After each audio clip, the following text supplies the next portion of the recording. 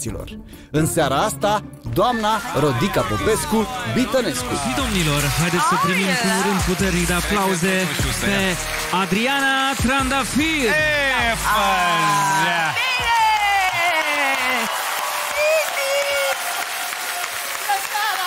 Bună seara! Mai la emisiunea voastră se uită numai tinerii, nu așa? Vă dați seama, în seara asta când fac și eu un rost, or să spună Wow, ce bine arată baba, e cool, Rodica Popescu Vitănescu la emisiunea noastră! Wow! Ah, și eu, eu o să mă simt ca o liceană. Ce actriță mare, ce roluri minunate, fabuloase spectacole, filme, scenete, revelioane, dar mă rog, nu vorbesc despre mine în seara asta. despre Rodica. Uitați-vă la ea, uitați-vă la ea cum se uită la mine, cu duioșie, cu dragoste, ca și cum chiar ar ști cine mai sunt. da.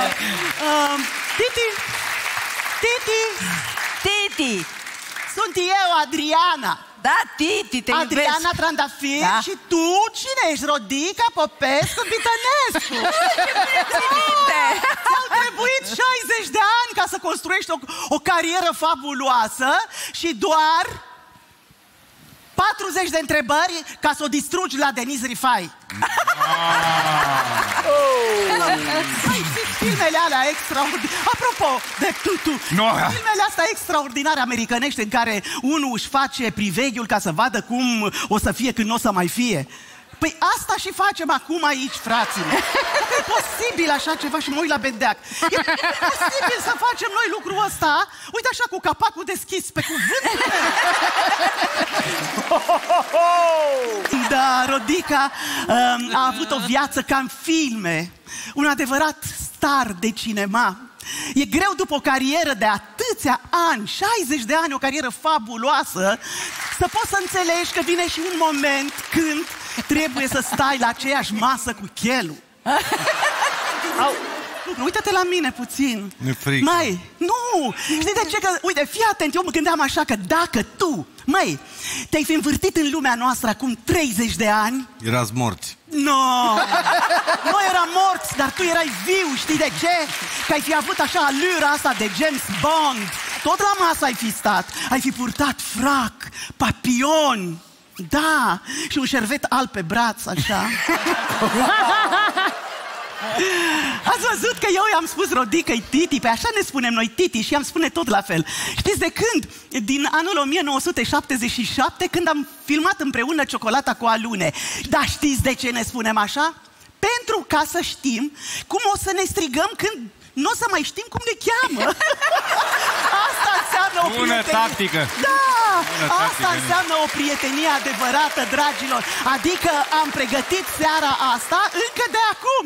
De atunci, adică. Super, super. Este, wow. Rodica scrie extraordinar. Scrie piese de teatru, dragii mei. La una dintre ele vreau să vă spun că uh, viață uh, de cimitir, M-am dus la spectacol, am fost foarte impresionată. În sfârșit, uh, uh, to- toată lumea a aplaudat. Eu eram emoționată, cu lacrimi în ochi. M-am dus la cabină, nu știam ce să fac. Ce să fac? Uh, Și atunci am luat-o în brațe, așa, i-am, i- i-am spus, Rodica, îți mulțumesc pentru seara asta și îți mulțumesc că nu m-ai distribuit în spectacolul tău.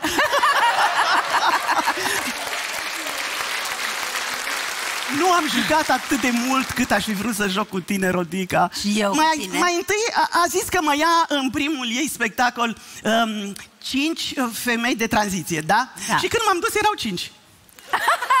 Păi nu râde, da, că m-am gândit, mă rog, poate că nu m-aș fi potrivit. Dar dacă erau șase, poate aveam o șansă, nu? Ești uimitoare, Rodica, uimitoare și nu este nicio glumă, chiar trebuie să spun uimitoare. Stai puțin, uimitoare, asta scrie în text, da, uimitoare, Rodica, uimitoare, da. Eu la vârsta de 82 de ani, ce aș face eu? Ce să fac? M-aș scula dimineața, obosită, cercănată, m-aș înghesui în troleu cu boșorogii aia care merg să-și plătească impozitele. Ah, dar după care m-aș relaxa. M-aș duce la cimitir și aș aprinde o lumânare lui Bendeac. Ia uite-te, prietena, da. Rodica vrea să fie prezentată așa. Uh, Actriță, dramaturg și regizoare a propriilor spectacole, pentru că în această seară ea vrea să se știe și să se știe clar că nimeni niciodată nu a vrut să-i regizeze spectacolele. Dar eu, Da, da, da. eu când, am, eu când am venit la spectacolele tale, Rodica, am făcut-o întotdeauna cu mare bucurie. Nu ți-am adus flori, recunosc, niciodată nu ți-am adus flori, pentru că știu, știu că tu nu vrei să primești flori decât de la soțul tău. Știu de la tine și mai știu și de la mine că eu sunt zgârcită și oricum nu ți-aș fi luat. Dar ți-am adus struguri. Da, pentru că ei, mai, știați că îi plac strugurii. De ce?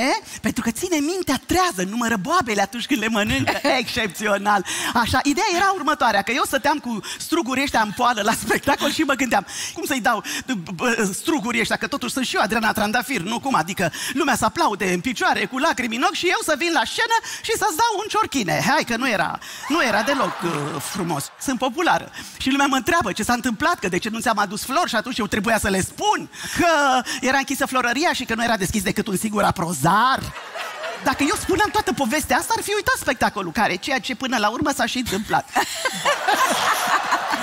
Pentru că trebuie să recunoaștem, asta se întâmplă cu noi. Îi facem pe oameni să râdă o anumită vreme, după care ei ne uită.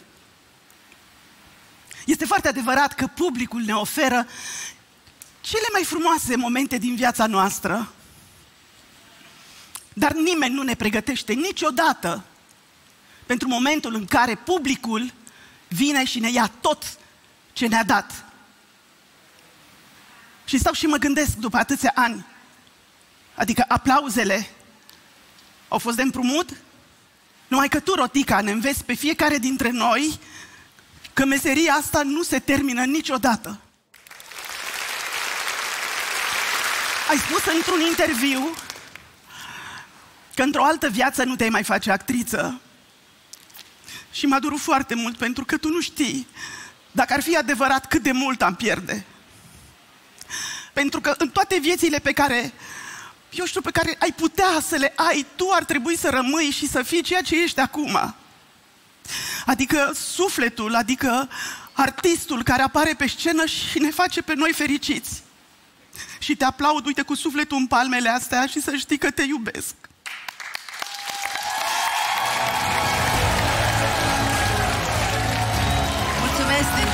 Ador!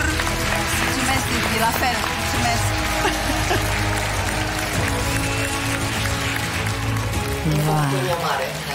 Titi. Vai, dar eu vă spun, am vrut să nu plâng în această emisiune. Doamne, acești doi actori m-au făcut praf. Nu m-am așteptat. Mi-a făcut o plăcere imensă. De fapt, eu de bine ce m-am simțit, chiar mi-a venit să plâng. Atât m-a complimentat Titi. Că ea îmi spune Titi și eu îi spun Titi. Suntem singurile Titi. Din teatru române spuneam Titi. Ți-am adus să vezi cum arată o actriță. Știu cum arată că joc cu ea Noi și jucăm este împreună. splendidă. Jucați, Da, doamna Adriana, jucați împreună cu Ilona? Da. Adică un spirit extraordinar de ludic. știi?